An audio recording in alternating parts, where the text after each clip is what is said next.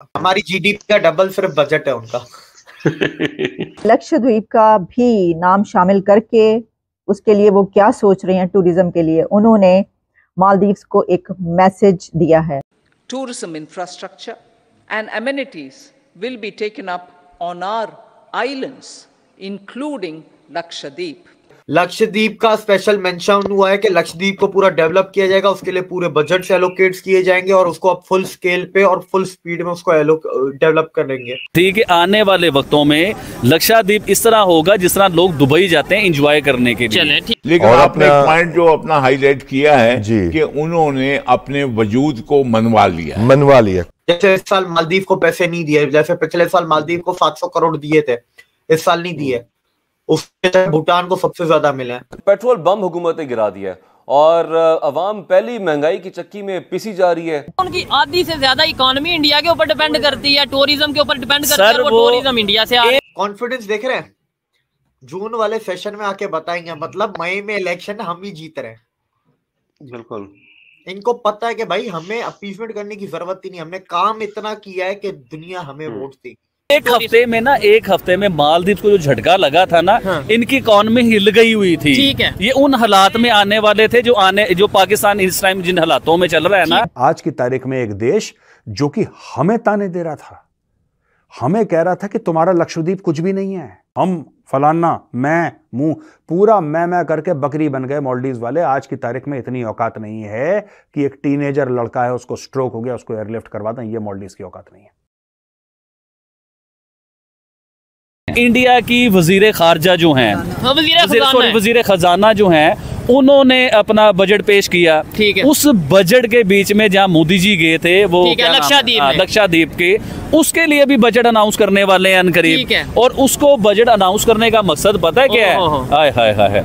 ये जो मालदीप को डर था देखिए हो सकता है इंडिया ने ये ना करना नहीं हो। उसमें एक चीज़ ये है कि भाई कमान से निकला तीर और कमान से निकली बात दोबारा वापस नहीं आती। जैसे उन्होंने बात कर दी अब लक्षद्वीप तो प्रमोट हो गया वो उसके ऊपर प्रॉपर वर्क भी करेंगे बजट भी अनाउंस करेंगे ये सारा कुछ होगा। जो इनको मालदीव वालों को डर था ना कि मोदी जी उधर आए हैं वो प्रमोट हो जाएगा लोग हमारे यहाँ नहीं आएँगे इधर आने लग जाएँगे क्योंकि वो एक अमीर कंट्री है वो जितना मर्ज़ी पैसा लगा सकते हैं उनकी अवाम बड़ी अमीर है उनकी अवाम दस दस रुपए दे तो अरबों में बात चली जाती है भाईजान ऐसे ही है। तो मकसद ये है कि वो बहुत अमीर कंट्री है वो गरीब कंट्री नहीं है ठीक है। और वो लक्षाद्वीप को तो वो पता नहीं क्या बनाने वाले ये, बना ये मैंने बनाने की थी। आपसे ठीक है। ये भी मैंने आपको पिटिशन की थी कि आने वाले वक्तों में लक्षाद्वीप इस तरह होगा जिस तरह लोग दुबई जाते हैं इंजॉय करने के लिए। आने वाले टाइमों में देखिएगा आप भाईजान उसमें देखिए अडानी ने इन्वेस्टमेंट का ऐलान कर दिया है उधर से यूएई इन्वेस्टमेंट के लिए इंटरेस्टेड है बड़ी- बड़ी कंपनीज़ सऊदिया करने जा हैं। अरेबिया जो है वो भी इंटरेस्टेड है उधर बाइजन इन्वेस्ट करने के लिए ठीक है। तो आने वाले टाइमों में देखे ये तो होगी दूसरी कंट्री है ठीक है, टाटा ने इन्वेस्टमेंट। सिर्फ़ मोदी जी उधर ऐलान कर दे या टाटा जी हाँ टाटा जी की इन्वेस्टमेंट थी तो अगर यही दो लोग ऐलान कर देना कि हमने मालदीव को ये उसे स्विट्जरलैंड बना सकते हैं सर। लक्षादीप को। जी हाँ कुछ भी बना है। सकते हैं। ये डर था मालदीप को। ठीक है। अब वो डर जैनमन हो रहा है। अगर आप ऐसी बदतमीजी ना करते देखिए सर हाँ। एक इलेक्टेड वज़ीर आज़म जो अवाम के मुत- मुंतखब जो है ना नुमाइंदे हैं जो अवाम करोड़ों वोटों के साथ जो है वो किसी मुल्क अरब चालीस करोड़ के प्राइम मिनिस्टर जी हैं हाँ तो इतने बड़े प्राइम मिनिस्टर को फिर दुनिया की सबसे बड़ी आबादी उनकी हज़ारों एहसानात आपके ऊपर और आप उनके साथ इस तरह की बदतमीजी कर रहे हो सोचो तो सही कि आप और मॉलडीव्स में इस वक्त क्या हो रहा है मैं आपको बताता हूँ बड़ी इंटरेस्टिंग चीज़ें मॉलडीव्स में हो रही हैं लेकिन सबसे पहले मॉलडीव्स अ, के नेताओं ने कुछ पॉलिटिशियंस ने ये मांग करी है कि मोहम्मद मुइजू, जो राष्ट्रपति है मॉलडीव्स का, वो भारत से और मोदी जी से माफ़ी मांगे। गसूम इब्राहिम है जमहूरी पार्टी का। गसूम इब्राहिम उसका नाम है, जमहूरी पार्टी का है, उसने ये डिमांड करी है कि देखो, भारत से लड़ने का कोई फ़ायदा नहीं है और ये तुमने बदतमीजी करी क्यों आखिर? ऐसा भारत ने कौन सा गुनाह कर दिया था? भारत ने कौन सी गलती कर दी थी जिसकी वजह से या जिसके चलते तुमने इतना बड़ा कदम उठाया? तुम्हारे जो मंत्री हैं, ये दो दो टके के जो तुमने लौंडे लफाड़े पाल रखे हैं, ये लैंग्वेज उसने यूज़ नहीं करी, ये लैंग्वेज मेरी है, लेकिन सेंटिमेंट और इमोशन यही है कि ये गाली दे रहे हैं। ये उल्टी सीधी बातें कर रहे हैं। करा क्या? हुआ क्या आखिर? दोस्तों, ऐसा है ना कि ये जब मोहम्मद मुजू आया था ना, ये जब चाइना से लौट कर आया था, इसको एक्चुअली शी जिनपिंग ने भरा, इसके अंदर। जब भर दिया इसको तो भर के इसने यहाँ पे उल्टी कर दी। इसने यहाँ पे बोल दिया कि मुझे तो लोगों से मैंडेट मिला है। मुझे तो मॉल्डिवियन लोगों ने बोला है कि भारत को निकालना है। भारत को निकालो यहाँ से। अब भारत को निकालो तो भारत ने, ठीक है मैसिव बॉयकॉट हुआ। अब ये जितने भी नेता हैं ना, जितने भी नेता हैं, ज़्यादातर मॉल्डीव में काम क्या है? मॉल्डीव में सॉफ्टवेयर तो प्रोग्राम हो नहीं रही।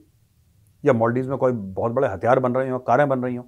मॉल्डीव में तो हर चीज़ इंपोर्ट होती है और मॉल्डीव चलता है टूरिज़्म से। यानी कि जो नेताओं का गलत पैसा भी है, वो कहाँ लगा है? टूरिज़्म से। नहीं समझ रहे आप? दोबारा समझाता हूँ। जो नेताओं का गलत पैसा लगा हुआ है, वो कहाँ पे लगा है? कौन से धंधे में लगा है? होटल्स में लगा है? रिजॉर्ट्स में लगा है। जब वो रिजॉर्ट बंद हो जाएँगे तो आमदनी का ज़रिया बंद हो जाएगा। इसलिए वहाँ पे बहुत उथल पुथल हो रही है। और लोगों के अंदर, खासतौर से जो नेता है मॉलडीव्स के अंदर, वहाँ पे उनकी बातें चल रही हैं आपस में कि, यार, ये तो मरवा देगा पागल आदमी।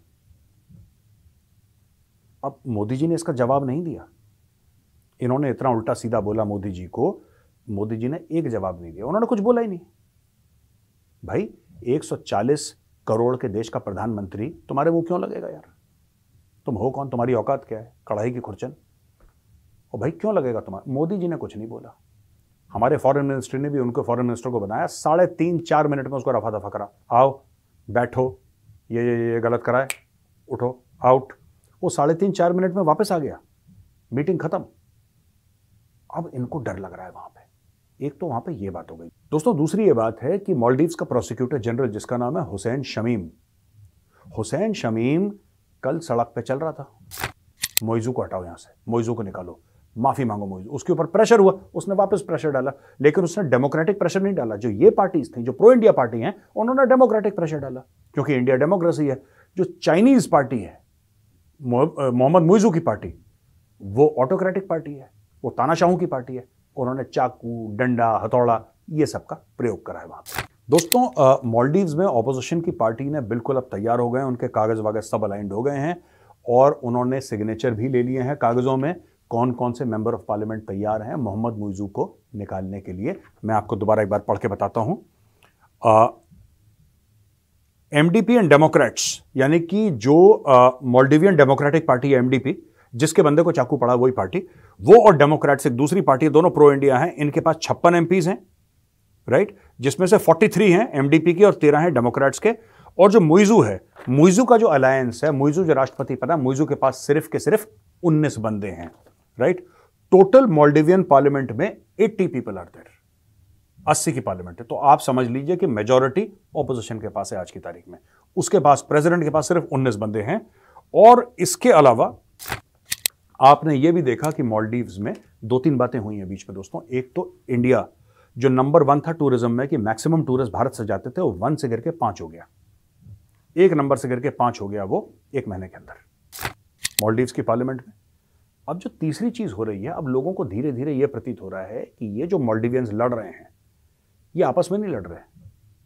इसमें एक पार्टी है जो कि डेमोक्रेसी में बिलीव करती है, जो कि लोकतंत्र में बिलीव करती है, वो भारत में बिलीव करते हैं। और जो लोकतंत्र में बिलीव नहीं करते, वो चीन के साथ लगे हुए हैं।